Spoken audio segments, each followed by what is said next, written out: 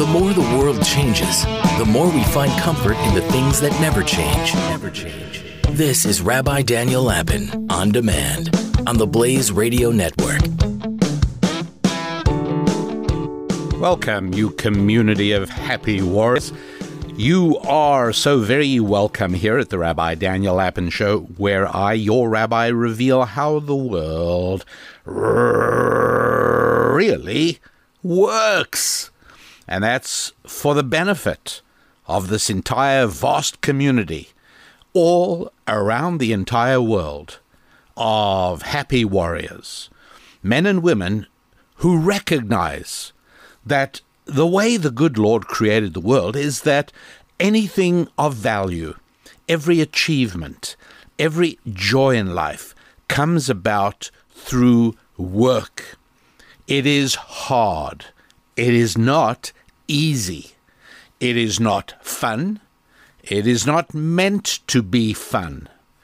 It is supposed to generate deep happiness, inner fulfillment, and profound joy in the accomplishment of all of these tasks. That is how it works, and that is your understanding of how it works. And I know that because of the letters that I receive from you.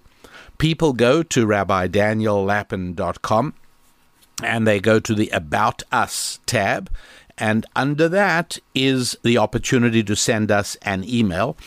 And reading those, I see what a remarkable community of happy warriors you really are. And if at, the, at this stage there are any of you happy warriors who have not yet downloaded your free book, your free ebook right? The holistic you, which puts you on the path for integrating your life in terms of the five F's. Uh, nothing to lose and everything to gain. So do make sure you go to the website and you look for the free ebook download, We Happy Warriors.com or rabbidaniellapin.com and you look for the holistic you, you won't have any trouble finding it at all. And that is, uh, it's a key tool for every happy warrior. In June 2021, uh, somebody ran down a crowd of Muslims in Ontario, Canada. It was in the in the town of London, Ontario, and uh, right after that, the Premier of Canada, Mr. Trudeau, immediately condemned the attack and he warned the Canadian people in the strongest terms that Islamophobia has no place in any of our communities. And he reassured the Muslim community we stand with you and the police immediately fanned out and began arresting suspects, uh, punishing and applying punishment. Um, yeah, no, there was no hesitation at all. Indeed, as as there should have been. However, I wonder if you are aware that also starting in June, uh, June the 21st was when what I'm about to tell you began. June the 21st, 2021, in Canada, four Catholic churches and an Anglican church were burned to the ground, destroyed. Did we hear anything from Justin Trudeau, the uh, juvenile and putative head of Canada? No, not a word. So then suspicious fires broke out across all of Canada, and so far, over 50 churches have been set aflame or damaged or destroyed. Okay. Um, what has the Prime Minister had to say? Actually, nothing through all of June, and it was not until into July that July had begun that finally uh, Justin Trudeau had something to say. And uh, what he said was uh, very mild and tepid. He said um, he uh, condemns a rise of intolerance and racism and hatred that we're seeing across the country. And that, that was it. And not surprisingly, it did nothing to stop the arson and vandalism and destruction, and Christian churches continue to be destroyed in Canada, and nobody minds at all. Um, it's it's kind of interesting. Somebody pointed out to me that uh, more people in Canada have been arrested for praying in churches than have been arrested for burning down churches. There has been no enthusiastic attempt to apprehend the culprits in this uh, round of church burning. It doesn't worry Canada. But oh, just let there be the slightest attack on a mosque or on Muslims, and the full ire of the Canadian administrative and law enforcement structure is fired up. Why is it? Why is it that they are more upset about any insult to Islam in Canada than they are to the destruction of Christian churches? Interestingly enough, an influential intellectual in British Columbia, who is also the executive director of the British Columbia Civil Liberties Association. Um, her name is Harsha Walia. Uh, she is a Muslim lady born in Bahrain and now extremely vocal. She has a lot to say in Canada. And um, as the executive director of the Canadian Civil, the British Columbia Civil Association, um, she issued a tweet when it became clear that there was a concerted campaign to destroy Christian churches in Canada. Her Twitter account said, Burn it all down, meaning all of Christianity, destroy it. And so the question I pose to you is why would it be that a nation of Canada, which speaks English for the most part when they're not speaking French, and which is built on the tradition of Great Britain, and uh, built on, yes, indeed, the foundations of the Anglican Church and the the whole um, British system, which articulated absolutely unflinchingly and without any confusion throughout the 19th century that their colonial enterprises in North America and elsewhere were to spread the gospel of Christianity. That's what it's all about. So to say that Canada was founded on the principles of Christianity uh, would be only telling the truth. And yet, right now, Canadian hostility to Christianity is so striking that I, I have to bring it to your attention. I have to tell you about this, in spite of the fact that I am a Jewish rabbi. So, why does this concern me? Well, it should concern anybody at all. Uh, Susan Lapin writes in her current Susan's Musings that a lot of Jewish people are now boycotting Ben and Jerry's ice cream because they uh, refuse to sell the ice cream in parts of Israel that are in contention.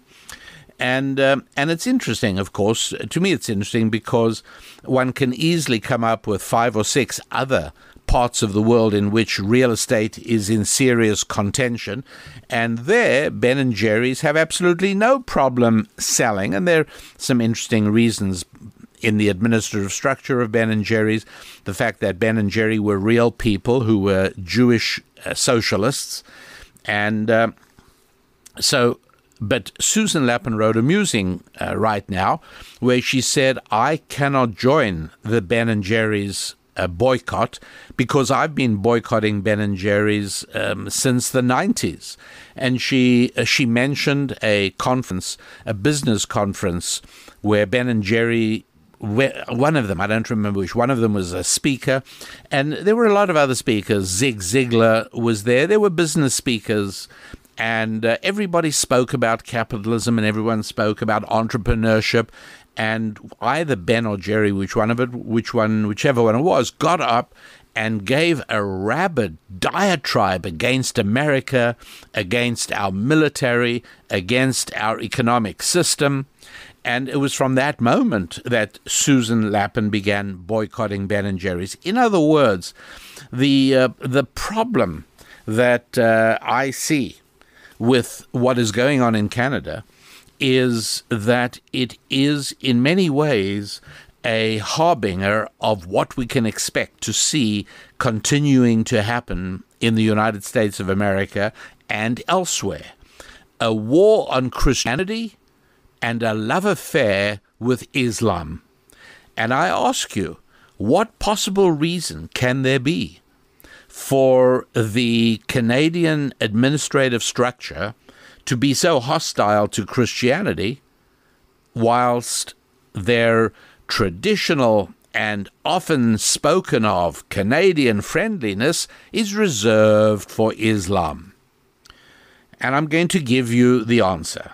Now, you may have other answers, and if you do, you know I want to hear from you. But I have not been able to so far discover any other answers, and I've asked many groups of people. But you may have an answer, and if so, I want to hear you.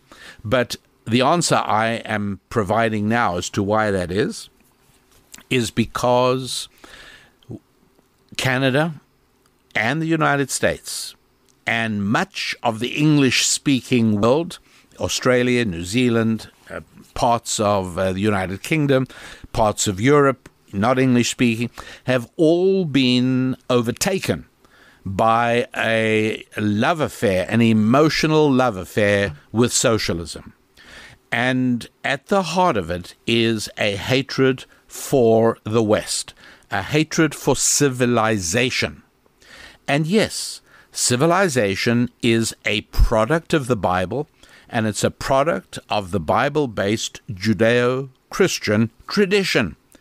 And so if you are hostile to civilization, and you are hostile to a God centric view of reality, why then you have to be hostile to civilization and to Christianity and so that's why it is. Yes, when churches are burned down, we get it. And yes, when America in the summer of 2020, barbarians invaded cities and tore up the cities, destroying infrastructure, smashing windows, and looting stores. At the height of the dem panic, I'm sorry, I mean the pandemic, at the height of it, the authorities turned a blind eye because they were destroying civilization. And if you're destroying civilization, that's okay. Defund the police. That's right. I get it. Because law and order, law and order, for which you absolutely have to depend on that policeman walking a beat or driving his patrol car Law and order is foundational to civilization. And so, if you are hostile to civilization, why? You'll be hostile to the police, of course. You might ask, why would, on earth would they want to destroy civilization?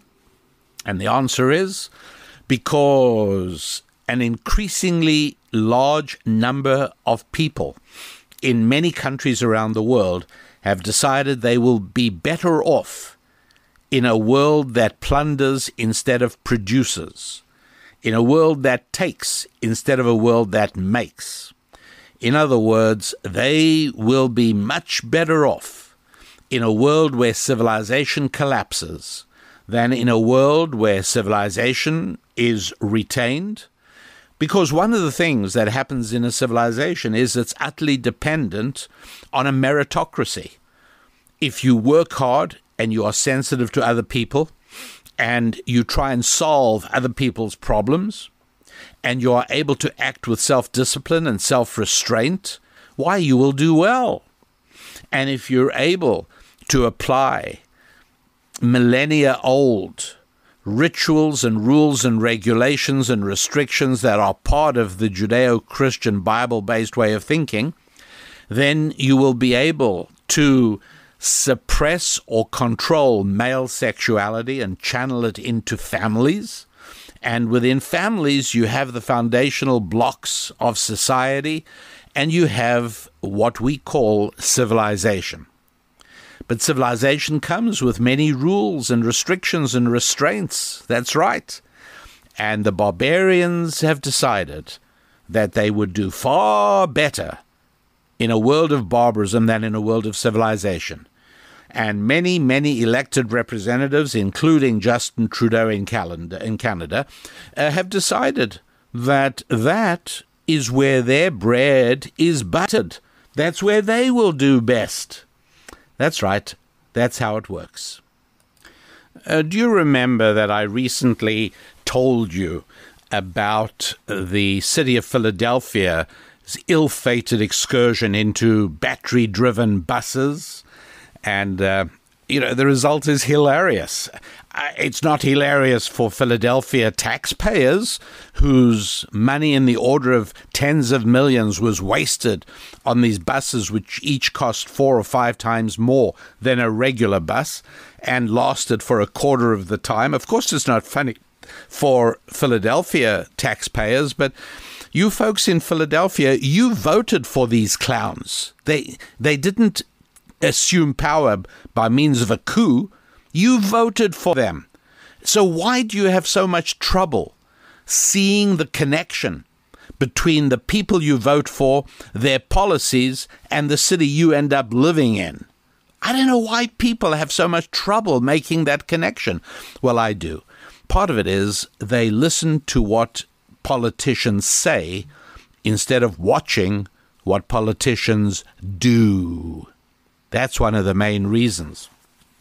At any rate, just for your laugh, just in order to give you a cheerful few moments where you can lean back and let loose with a real belly laugh as the great big giggle rumbles up from your tummy. Uh, I'll give you that because it turns out, thank you to one of our happy warriors, Ray in Livermore, uh, I am now in possession of information of yet another city that tried this experiment of battery buses. It's hilarious. I mean, I'm sorry, it's just funny. It really is funny. it really is. And uh, I'm going to just take two or three minutes of your time to tell you about that so you too can laugh. But uh, before I do that, I want to engage in a, an advertisement. I want to tell you that you constantly hear me talking about the role of the Bible. All right, yes, it's true. It is the most significant yet overlooked volume of world history. And we are now living in a time, not only in the United States where I live, but in many other countries. And my world map is almost filled with pins representing listeners in almost every country. I should actually let you know which countries I do not seem to have any audience members for the Rabbi Daniel Lapin show, but there are not many, I'll tell you that. And uh, I, um, uh, I, I tell you, we're living in a time where, in, in all countries, most countries, people of influence, prestige, and prominence know less about the Bible than the Marx brothers knew about brain surgery. Seriously. You, you think of people dominating in popular culture, commentators, leaders in entertainment, leaders in business, leaders in finance, leaders in politics, And as I like to point out, the truth is they really do not know whether Leviticus is the name of a men's aftershave cologne or whether it is the name of a book of the Bible. They don't know. There is abysmal ignorance. And it's um, it's something that everybody should think about, right? I don't care about what your relationship is with God, or maybe it isn't at all. Maybe you are religious, maybe you're not religious, but I know that you are a person who is interested in reality. You're interested in the world, and you're interested in how the world really works. Otherwise, you would not invest your time in this show, and you do and so you know that I take very, very seriously the responsibility of not frittering away your investment and not in any way whatsoever making the return on your investment of time anything less than it can be and should be. And so, regardless of what your feelings are about God, for you to ignore the role played by this book is to miss out on a main segment of understanding how the world really works. I spoke about uh, Canada and the evident hatred of Christianity, not only in Canada, but, but much of the world today. And it disturbs me profoundly because Judaism and Christianity have partnered in creating civilization. I mean, even the Hudson Bay Company, which played such a role in the early development of Canada, today it's just a department store, and, you know, not a particularly great one at that. But um, you'll find them all around Canada. But when it originally started, the Hudson Bay Company was very much a Christian organization. It wasn't a church, but it was operated, administered, and and propelled by people who were Bible believing Christians. That is what laid the foundations of Canada. And so it's important to understand that what makes the Western world work, what really distinguishes the West from the rest, is not skin color the way that woke leftists want to turn it into, but it is the role played by the Bible in the founding of the country. There are so many areas, and if you think about them, you'll come up with them yourself. But if you think about what makes a society work, first of all, and in no particular order. When I say first of all, I don't mean most importantly, but I'm just listing a few of the ideas implanted in the cohesive and collaborative consciousness of a society necessary to make things work. Uh, one of them is keeping your word. Biblical value, by the way. Keeping your word, that it is important that what you say is what will be and what is. Keeping your word. Biblical idea. It doesn't exist in much of the world that never had a biblical foundation to its founding. Seriously, it doesn't exist. Um, eschewing of violence. You know, it's the idea that men need to be socialized by marriage. That's right.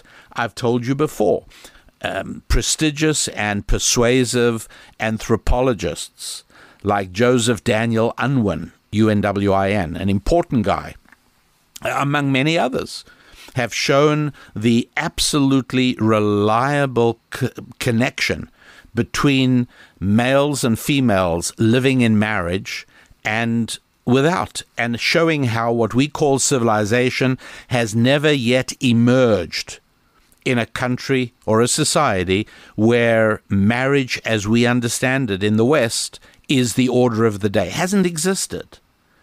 That's a biblical value. Uh, the idea of um, of violence in general not re- not being rewarded, biblical value. Uh, the idea of human beings collaborating with one another, the idea that creativity depends on communication, which depends on connection and allows collaboration, ultimately creativity.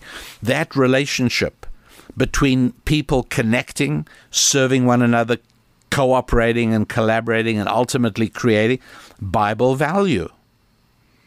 It's not an accident that mechanisms for connecting people emerged in what we call the West, what I call the Bible based West. The telegraph, right, in the United States in 1844, steamships before that, railways, telephone, that's right, television, radio, why did some of these things not get invented in Asia or in Africa or in other civilizations or other cultures, if you prefer?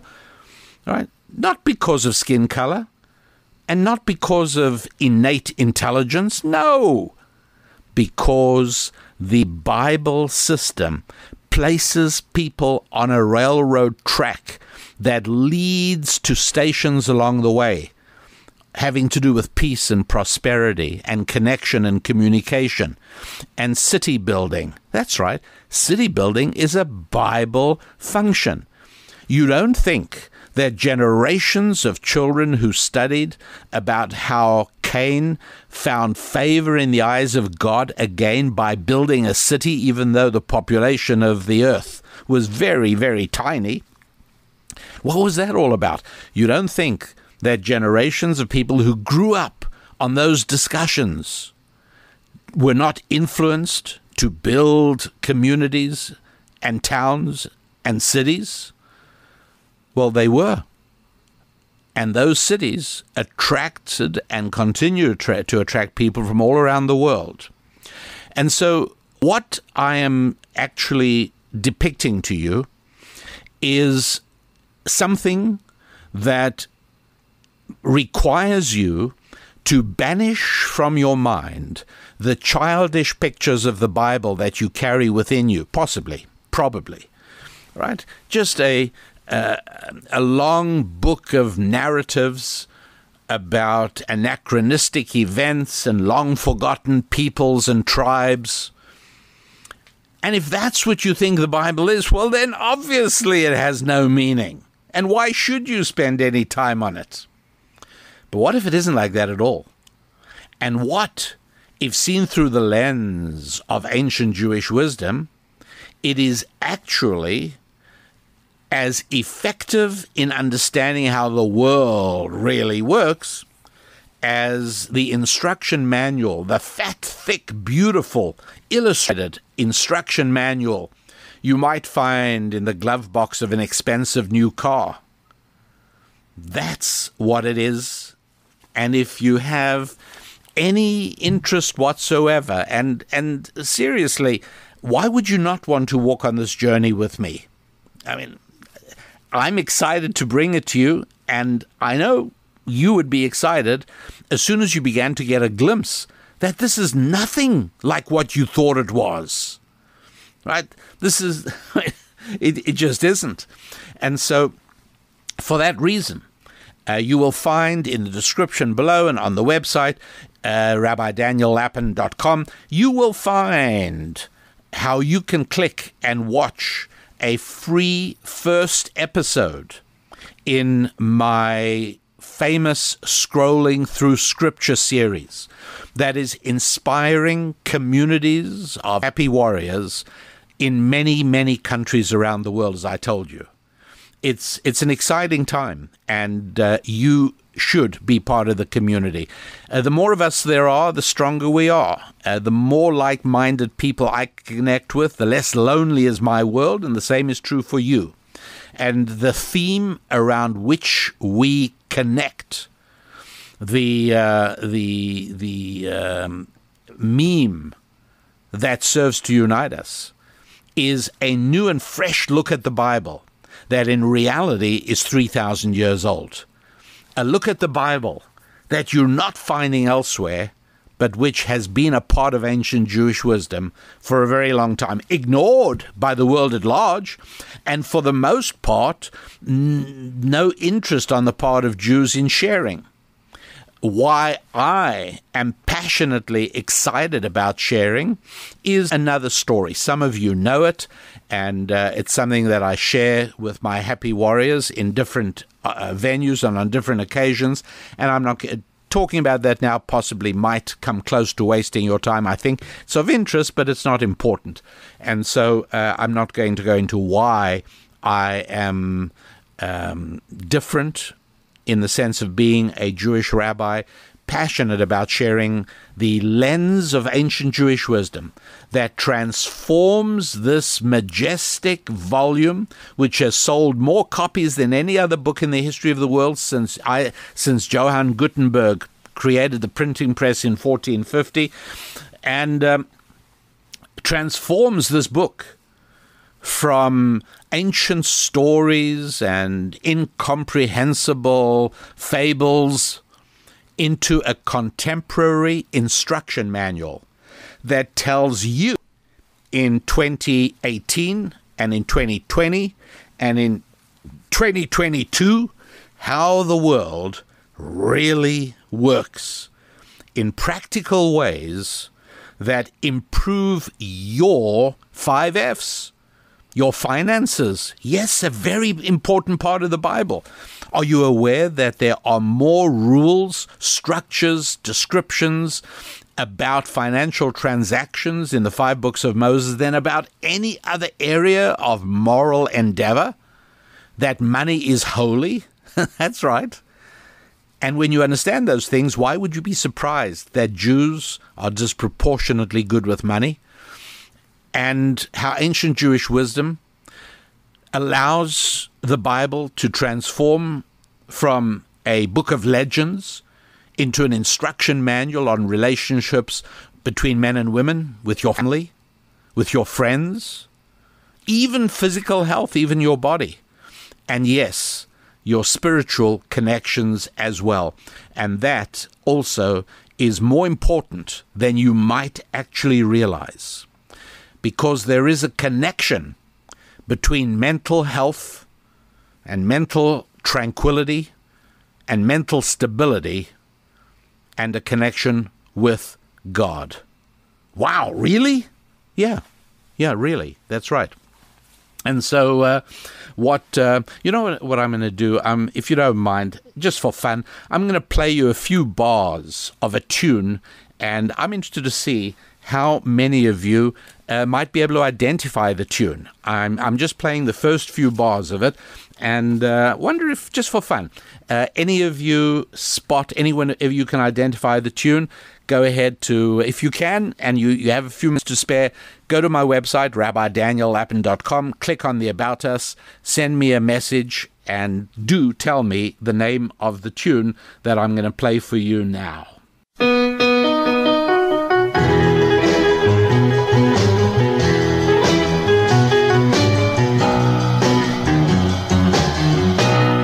Okay. Now, uh, I said I was going to tell you a little bit about just a few minutes worth uh, to do with yet another town that um, uh, experienced battery driven buses. Uh, but first of all, um, allow me, if you will, to take a moment to um, effect a thermal event. I just have to do a thermal event here to light a cigar. Okay? And now let's take a look at um, um, some more buses built by the same firm, Proterra. Well, guess what? They caught fire in Southern California. Yes, the Foothill Transit Agency, which serves some of the valleys uh, east of Los Angeles, uh, will decide and is in the process of deciding uh, whether these buses are still operable. They're deciding that they're not operable. Um, you see, uh, they reported buses that caught fire. That's right, in Southern California, battery buses built by Proterra caught fire. And um, the manufacturing company Proterra uh, refers to those as thermal events. That's right. When a bus catches fire, it's not a bus catching fire. No, we use a public relations euphemism. It was a thermal event. Well, um, there have actually been quite a lot of thermal events that have taken place with battery driven vehicles. And uh, the reason is because when you draw a lot of current from an electrical battery, uh, its temperature goes up like crazy. And um, and so you might have a thermal event. Or if you charge a battery, push current into it, not out, but push it in in very high volume, high amperage, um, the battery gets very hot and you actually might get a thermal event, which in the Rabbi Lapin, Daniel Lapin dictionary actually means a fire. Um, another problem buses have actually, Proterra buses have melted. Uh, they've had transmission failures, is what also happened to the buses in Philadelphia. So um, there you go. The buses have had thermal events, some have melted, and some transmissions are failures.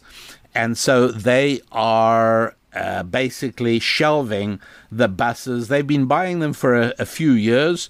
Um, most of them are around about from 2019.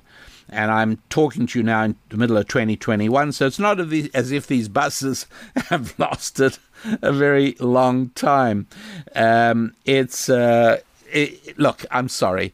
Um, why am I laughing? I mean, do I like laughing at other people's misfortunes? No.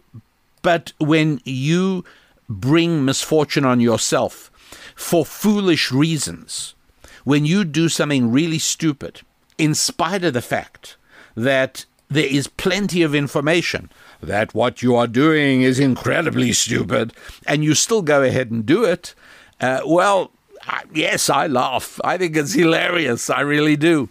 And um, there, look, there are good reasons to take actions, right? Uh, economics is a very good reason to take action. Uh, you may decide you need to buy something. You may decide that you're not going to buy something and you're going to save the money instead. These are economic motivations and they're good. There are also other motivations. Um, you might decide to buy, if you're a man, you might decide to buy an engagement ring for a young woman you're hoping will marry you. Uh, that would be an emotional purchase, not a financial reason, and, and that's good as well.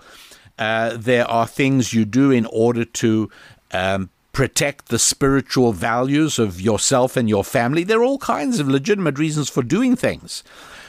But preventing the oceans from rising is just a really stupid reason because it's nothing you got to worry about.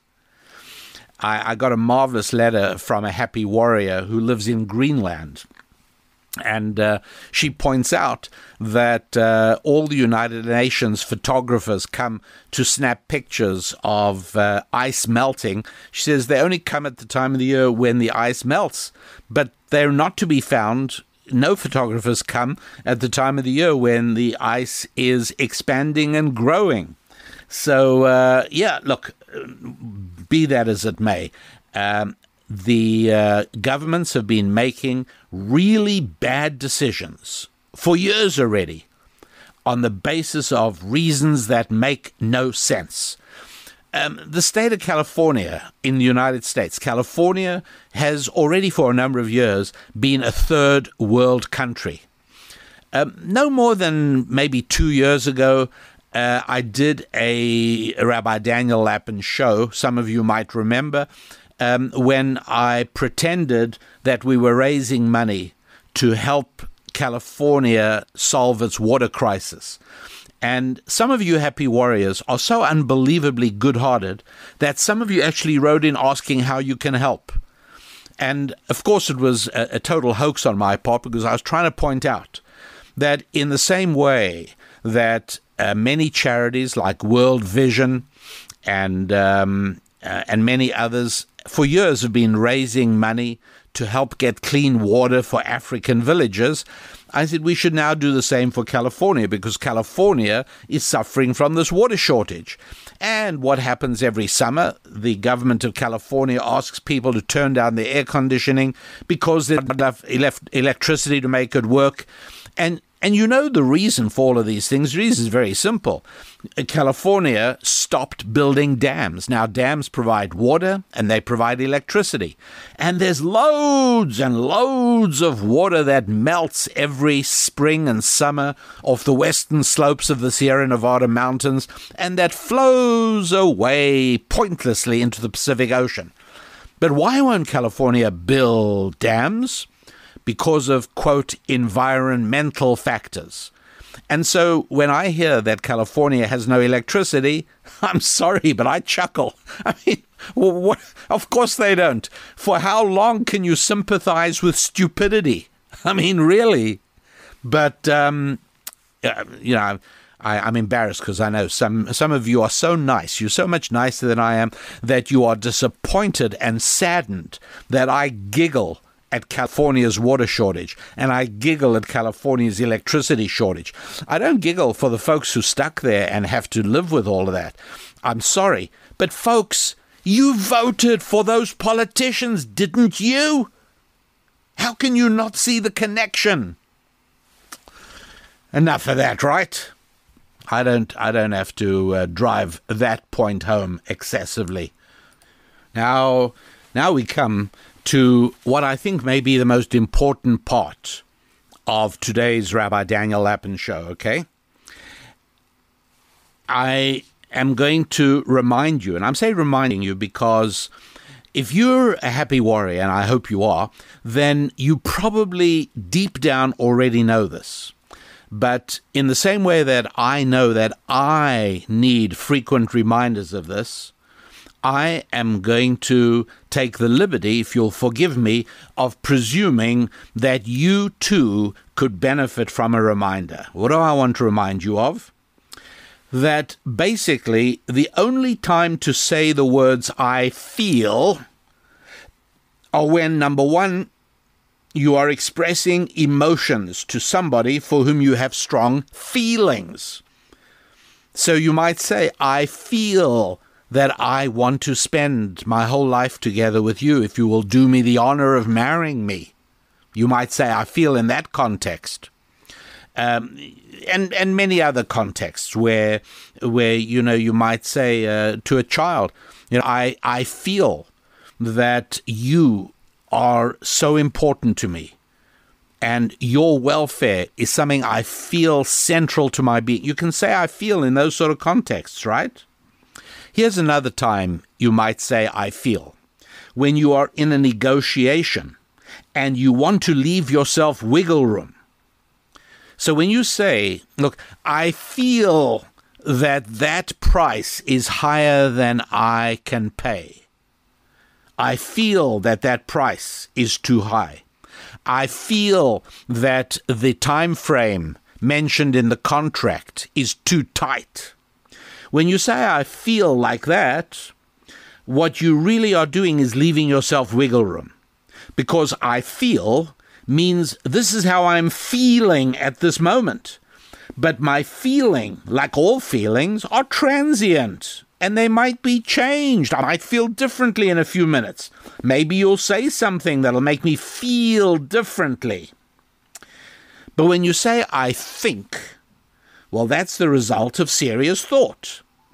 When you say, I think, it means you are less likely to change, um, though additional or new evidence might well change what I think, but it won't be a change caused by emotion.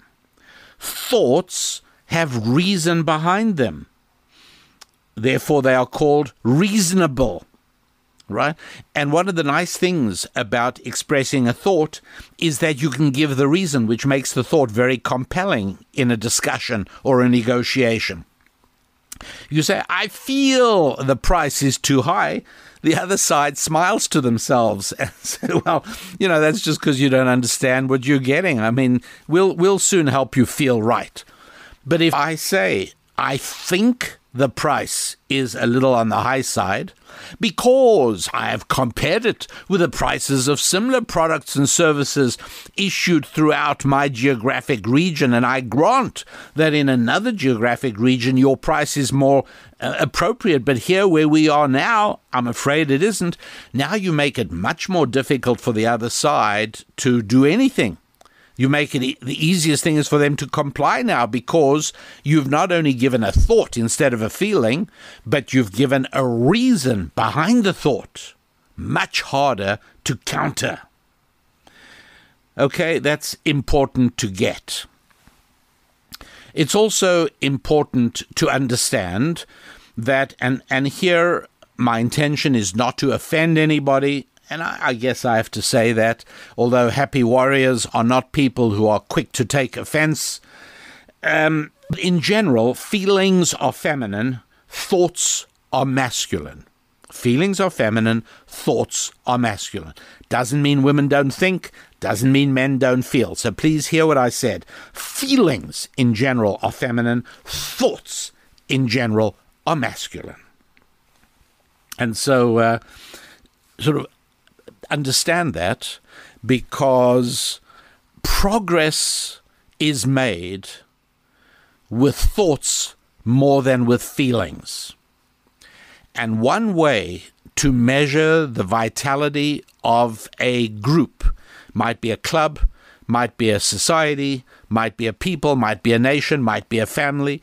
But if you're in the company of that group, or you read their literature, or you listen to them talking, and you hear a lot more about feelings than about thoughts, then you know to yourself, you know that it is a feminine trending group or society or people. And um, and I should also tell you that the default condition is feminine. In exactly the same way, and I've spoken to you about this before, in the same way that um, the physical world is a reflection of spiritual reality. It's almost as if God said, I'm going to create a world that manifests and demonstrates and shows and reveals all the spiritual truths that I have taught in my majestic volume called the Bible. And so, uh, the physical world, in the physical world, what do we have? Uh, something we know about is that human beings, whether we are conceived and are going to become male or female, whether we're going to become men or women, in the initial few weeks, we're all female. That's what it looks like. And then at a certain point in the gestation, a jolt of testosterone comes along and changes everything and that produces men. Okay? And so the natural and default condition is feminine. It takes a jolt of energy to produce masculine. And so if you are raising children, as I hope you are or have, then you will have had the extraordinarily exciting experience of discovering the difference between raising boys and raising girls and discovering the power of testosterone and discovering that uh, boys require a much greater infusion of energy than girls do. That's right, you heard me. It is easier to raise girls than it is to raise boys, at least up to the age of, say, 16, maybe 15, maybe uh, somewhere there. I admit that thereupon it becomes very difficult. But the challenge of raising children is a greater challenge for boys, you know, up to about, uh, say, 16 as well, approximately, because the natural tendency is for boys to become thugs or wimps. Left to themselves, boys will move towards aggressiveness, unrestrained ambition, and essentially no restraint whatsoever on sexuality and violence. That's the way boys left to themselves become thugs. Boys raised by single moms can very easily become thugs, or the alternative, they become wimps. They become feminized. They become not manly, not masculine, not boys. That's the other alternative. And so when single moms, and hey, look, I know many single moms out there, you're doing heroic, heroic jobs. And many of you have gone out of your way to find men to play a role in your sons' lives because you know how important it is. And so uh, my hat is off. And many of you have written and told us, some of you have written to Ask the Rabbi column on our website. And so believe me, I know who you are. But in the United States in general, there are very large numbers of single moms, and the numbers are growing, by the way, and they produce boys who are thugs or wimps because it takes a lot of testosterone energy to make a boy, or in other words, it takes a man to turn a boy into a man. It does. And a man dedicated to that boy, the best man in the whole world, is his father. That's how it works. And if he is not there, then the boy will devolve. In most cases, not every case, there are some remarkable young men but in most cases, and you only have to look out in the streets of America to see this to be true, thugs or wimps. That's what boys that have not been turned into men become. That's right. Huge problem for society. It goes without saying, right? It goes without saying. But um, the cultural obsession with feeling rather than thinking is very much part and parcel of this whole trend. What am I talking about? Well, uh, something that recently trended on Twitter, and it's all over the place. I mean, if you want to find it, it's it's truly hilarious.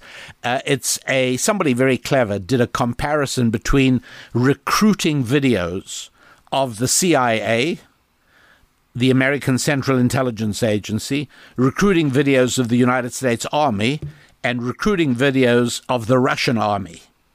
Needless to say, on the Russian army, the masculinity oozes off the screen if you watch their recruiting video.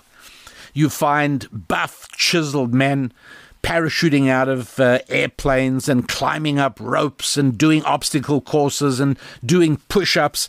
And they are working hard and they, oh my goodness, they are men you look at a recruiting video of the United States Army, and it's this girl who tells how she was raised by two moms and she feels so good about it. And what's more, she feels she has always fought for equality in this world and she feels it's so important. All we hear about is what she feels.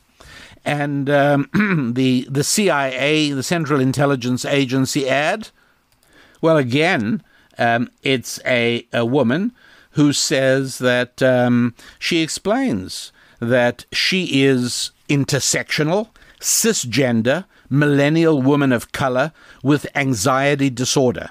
And she is recruiting for the Central Intelligence Agency. By the way, not once does she mention in all her lengthy identities. And these are things she feels, you know. I mean, she feels these things intersectional and cisgender, millennial woman of color with anxiety disorder. I'm sorry, I have to laugh or cry, one of the two. Uh, she never once mentions that she's her identity is American right? What hope is there? Can you imagine how loudly Chinese government and military officials laughed when they saw these Twitter feeds and they were able to so easily contrast the Russian recruiting ad with the American recruiting ads for the intelligence agency and for the army. I mean, it's it, it's really amazing. It's a culture of feelings. Um, one of if you if you would rely on newspaper headlines, uh, you'd think that uh, one of the most important things ever to happen is um, the fact that a very talented Olympic American athlete called Simone Biles dropped out of the Olympic contest.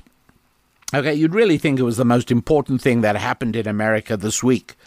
And um, you know, look, um, I'm I'm not saying what what she did things on in in gymnastics that I've never seen anyone else do. I mean, she was she was amazing, no question about it.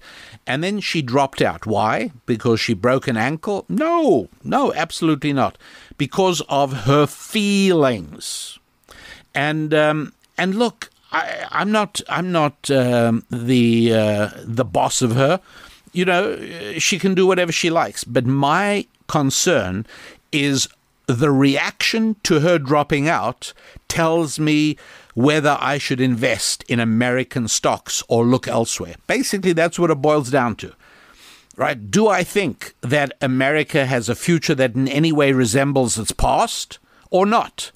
And I have to judge that on the kind of cultural reactions to Simone Biles dropping out here are some of the things she said, okay? I just felt like it would be a little bit better to take a backseat to work on my mindfulness. Mindfulness? I don't know what that word even means. But okay, fine. You know, she's a 23 year old girl. Um, good luck to her. But I did notice that she said, I just felt it would be a little bit better.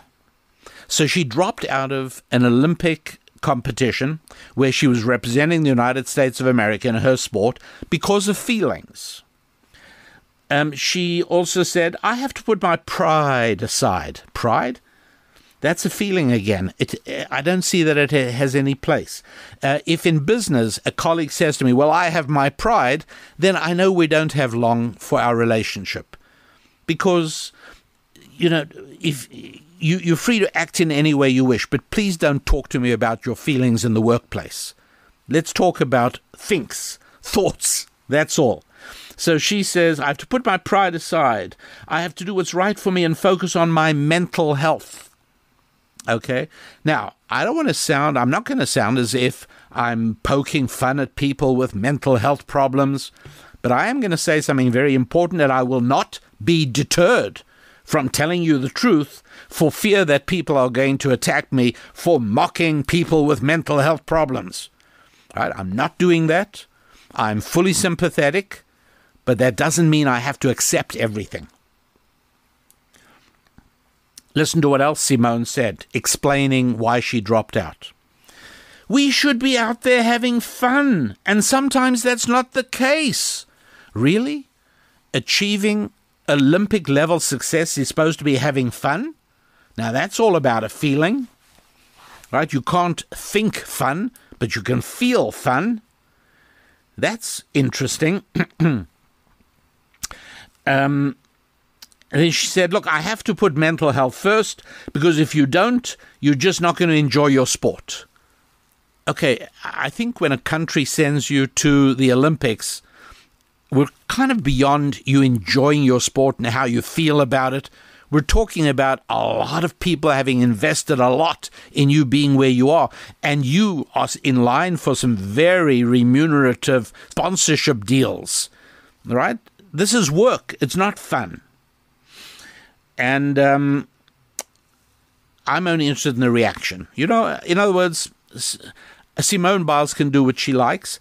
I will tell you this that originally in the Olympics, you're not going to like this one little bit, but I'll remind you that only men competed, not women.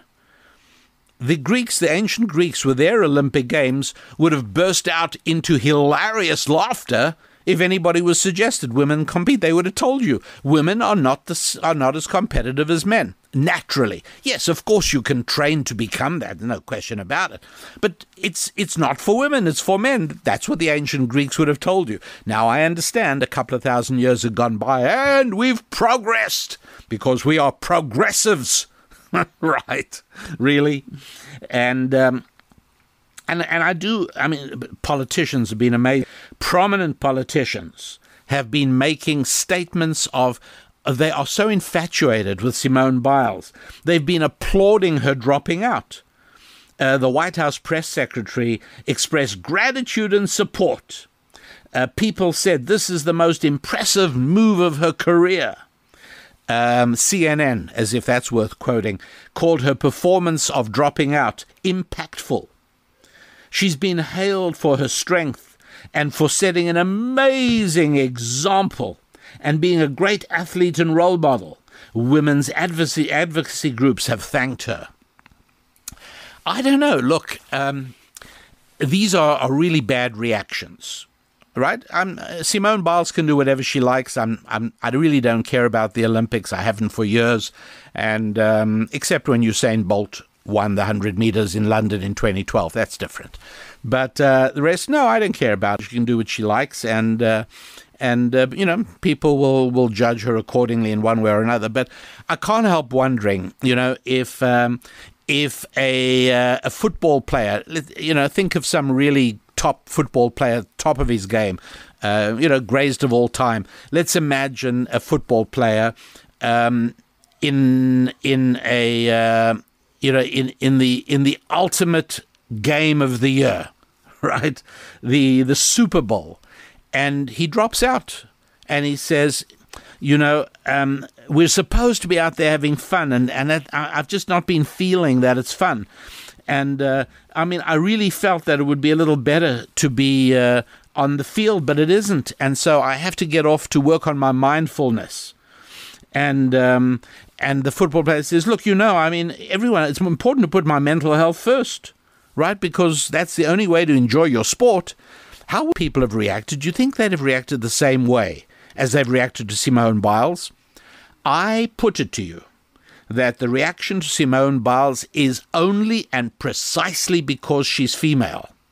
And I think that in general, if a uh, an NFL star would have pulled out of a Super Bowl game, the equivalent of the Olympics, saying these same things, I've got to be mindful of my mental health. It's just not fun out there on the field anymore for me. Really, I mean that that's that's what she said. I don't think the world would be quite as tolerant. See, because deep down, they know that men and women are different. Can there be any better proof than this? Surely not. How about this tune? Tell me if you can identify this piece of music. Artist and, and name of the song, okay? You ready?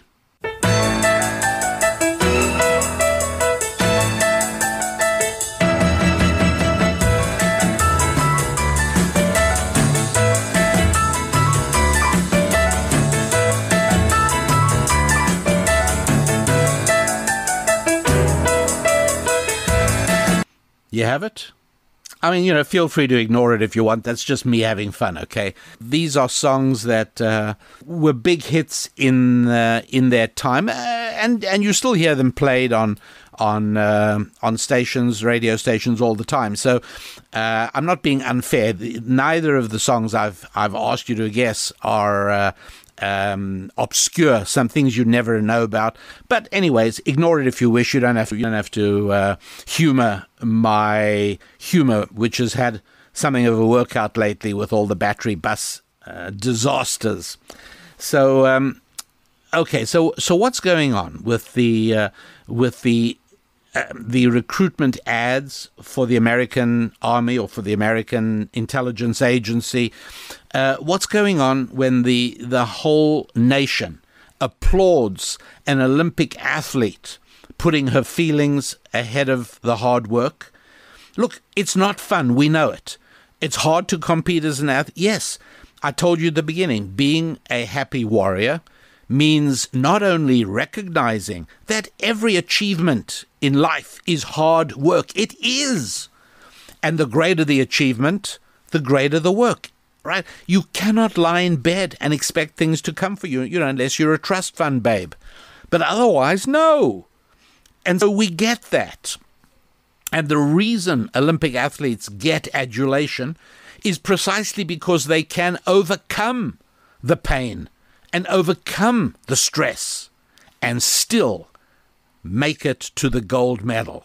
We get it. And here is where I am going to um, say about mental health that, um, you see, the problem with mental health is that with a broken ankle, there is no dispute. It is a fact, not a feeling. We got it. And um, you know, if if somebody has uh, an, some disease or, um, or or whatever it is, okay, they are objective diagnoses. Right? Medicine recognizes the disease; it's there. Now, what everyone will be screaming at me is, you know, you idiot, don't you understand? Mental disease is exactly the same. And it's just that in the darkness of our primitive early tribalism up until 2018, we never realized that mental health is exactly like physical health and mental disease is exactly like physical. No, it isn't. Okay? It is not because it is much more subjective. And it is not an accident that the American medical establishment has created a vast industry of mental health. And call me cynical, but here's the great advantage in being a doctor for mental health. And that is, there's nobody else who knows whether you have cured the person or not. It's everything depends on what you say. They'll even tell the patient that the patient doesn't fully understand the extent of their mental health. And every mental disorder that has been catalogued in the Diagnostic and Statistical Manual of the mental health profession, each has a billing code for insurance and for government medical payout. And it's become a growing proportion until it's even shockingly proportionate to the cost spent on physical disorders. Mental disorder is a category that is growing like crazy. And yes, it is subjective.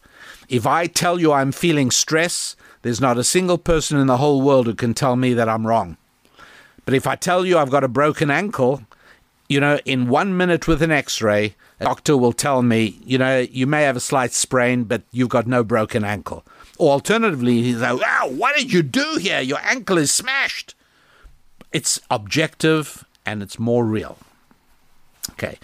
okay. I'm not throwing stones at people with mental problems, but I am asking you to be aware that there is a difference between thoughts and feelings. And there's a difference between hard facts and soft feelings. And finally, and above all, you know, I always tell you that you need to be focused on your five F's. Right? That's why I encourage you to get hold of the download, the ebook download, The Holistic You on my website. And I fully recognize that for many happy warriors, the section on finance makes sense. Section on family yeah, pretty much makes sense. Section on friendships, yeah, I can I can see that life isn't so good with no friends. And the section on physical fitness, yeah, absolutely. Then we come to the section on faith. And you say, yeah, you know what? I don't need that part. Okay, fine. Listen, there are many things that we need that we're unaware of. Okay, you know, your body needs a certain amount of potassium to operate. But, you know, nobody, for the most part, goes to the pharmacy and says, uh, Do you have some potassium tablets? You know, for the most part, you rely on your, diet to provide it. And if it failed to provide it, it might take you quite a while before you recognized you had a problem. Or, you know, vitamin D deficiency, whatever it is. Um, we don't actually feel these things, we kind of know them intellectually. And I am suggesting, and you know what? I mean, no notches on my gun, I promise you. So, uh, as you know, my, my function here on the Rabbi Daniel Lapin Show is to make ancient Jewish wisdom accessible to you. And uh, you may just find it entertaining and do nothing about it. That's your prerogative. Or you may decide to change your life and benefit and bring the changes to your life that totally transform and bring you moments of deep and real happiness and joy and fulfillment. Yeah, all of that is true. Um, and so, you know, either way, whichever goes, all I'm doing is letting you know that uh, some of the most successful people on the planet in the last 2,000 years knew and understood that they did need a connection with the deity, a connection with God. Now, for many people, uh, you know, it, there are so many uncomfortable memories. I can't tell you how many Jewish happy warriors have told me the unhappiness they feel with Hebrew school as a kid when the rabbi rapped them on the knuckle with a ruler. And by the way, I've heard exactly the same things from Catholics who remember the priest rapping. there must have been a lot of knuckle rapping going on. That's all I can say. Um, I mean, I know many Jewish happy warriors who've told me we will not set foot in a synagogue. But they have asked me for direction on how to connect with God. Isn't that interesting? They want nothing to do with what they call organized religion. But they ask me, so is there a way for me as an individual to actually connect with God? You know, these are interesting questions and, and they fascinate me and I, I love working with people on them. They really are very important indeed. And uh, all I'm going to tell you at this point, although I'll have much more to discuss on this later on, and that is that uh, uh, mental health, and yes, there are certain specific organic disorders. There are, I understand that. But in general, the vast majority of what is generously categorized as mental health are issues that would simply not be there if real connection with God was present. I know this is this is disturbing stuff. You're not going to like that. You're not going to be happy hearing me say it. And I repeat it not to make you miserable and not to aggravate you and not to irritate you. I repeat it because I know that happy warriors are capable of hearing things, even things with which they initially strongly disagree, but they're still capable of hearing things and asking themselves, could this just possibly be a factor? You got to know that when Sigmund Freud started up this whole field and popularized this field of psychiatry, making a whole mess of many things, needless to say, but um, you know, he came from a rabbinic family. And what he was trying to do, and you can see from the titles, you don't even have to read them, but from the titles of some of his books, he was trying to come up with a replacement for religion. That's right. He wanted a way to get the benefits of mental health without the costs of God. I mean, that's really what it's all about. I'm telling you. But don't trust me on that. Uh, just remain open to the concept, expand your reading a little bit, and, um, and, and don't be shocked at what you discover. God is needed. Faith is one of the five F's. Yes, it is. Not only every bit as important as finance and friendship and physical fitness, but intrinsically essential to each one of those. One of the key things I explain in the uh, Holistic You is the need to fully grasp how each of these five F's interconnect with one another. And that your capacity to make money, your capacity to build a good relationship with a man or with a woman, whatever you're not, uh, is related to your connection with God. it's true. Now, I mean, this is radical stuff. You know, you you you, you might well be forgiven. And say, hey, what's the matter? Have, have I tuned into a religious station by mistake? No, that's not how it works. I don't listen to religious stations either. I really don't, because to me, the connection with God is part of my connection with my wife and my children, and part of my connection with my friends, and part of my connection with my money, and yes, part of my connection with my body as well. To quote the great um, Jerry Seinfeld, um, you know, treating your body like an amusement park or treating your body like a temple. Those are uh, two different viewpoints. And uh, one of them has to do with a connection with God, and one of them has to do with the banishing of God from your reality. Uh, the author of the Father Brown series uh, once wrote, um, G.K. Chesterton, I think it was, right? He uh, he has Father Brown saying to somebody very nicely. The guy says to him, "I'm not much for God. Uh, I am much more interested in the practical things of life." And I'm paraphrasing totally. And Father Brown, uh, the wise Catholic priest, responds to him and says, um, "If you really are interested in the practical parts of the real world, then you desperately need your connection with God." And that's that's really what it is. He said it better than I did, but what I said is also true. And uh, that is indeed really how it works. So, my friends, uh, thoughts are very important. Feelings are also, but you've got to be able to know the difference. A culture more focused on feelings than on thoughts is a doomed culture. And um, we've got to recognize that uh, masculinity revolves more about thoughts than feelings, femininity more about feelings than thoughts. Uh, yes, a female athlete, I think she was treated differently when she dropped out because of her feelings. I think a male athlete would have been treated very differently. And that's I'm fine with that because I do believe men and women are completely different from one another.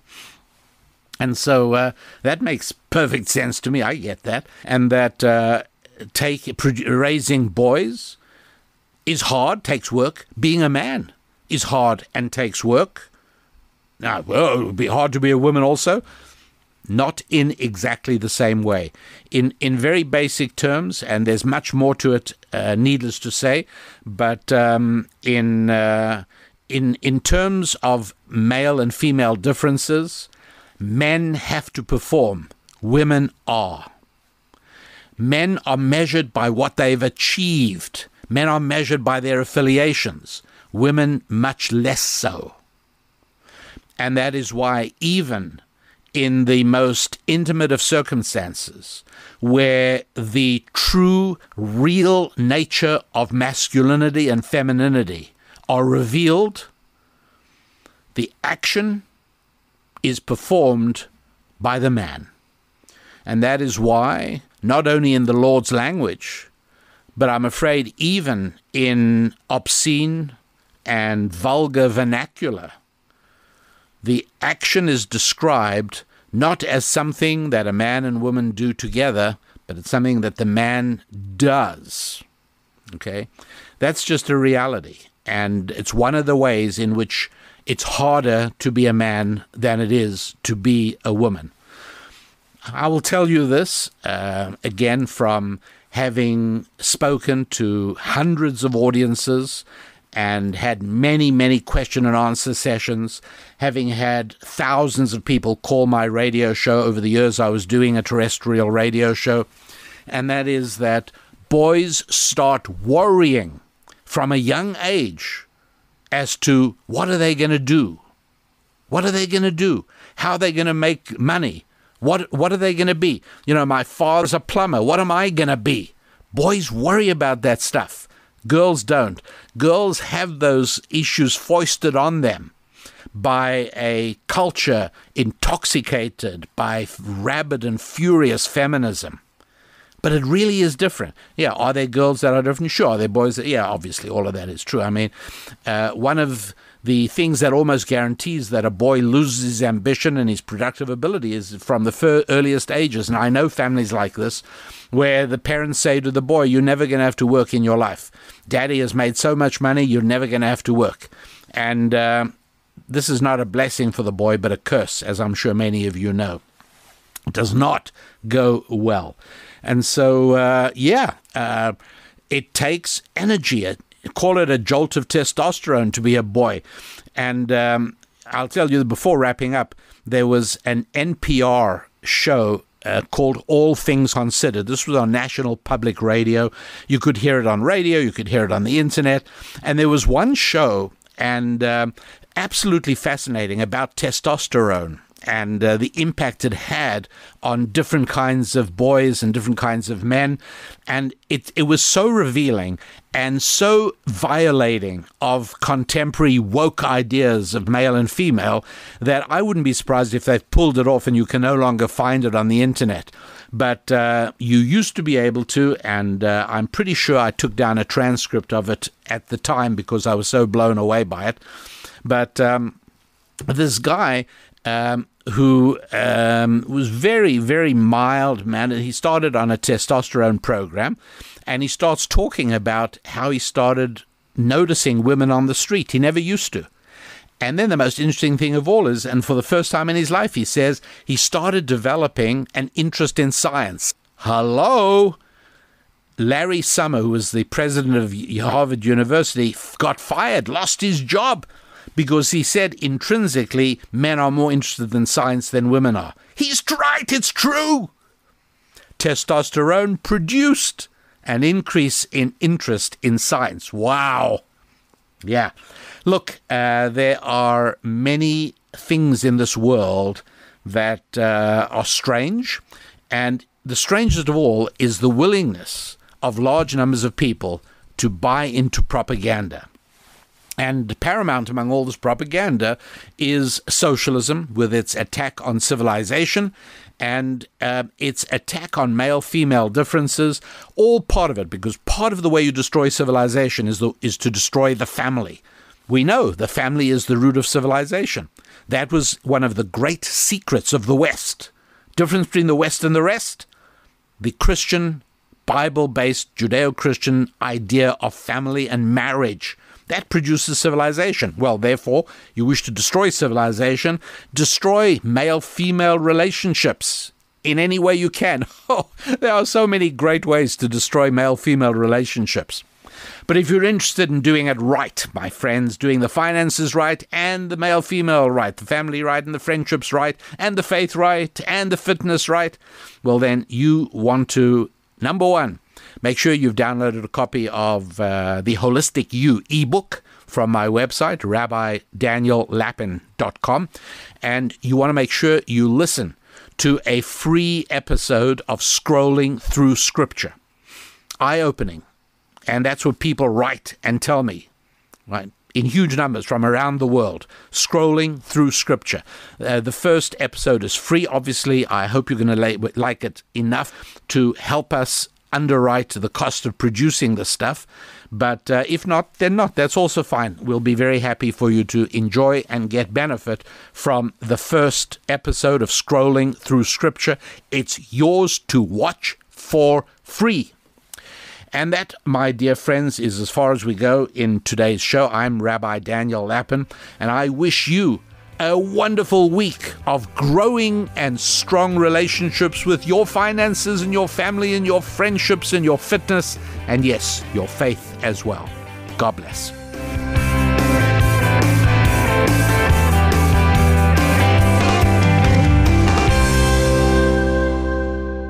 Spilling ancient solutions to modern problems in areas of family, faith, friendship, and finance. This is Rabbi Daniel Lapin on demand on the Blaze Radio Network.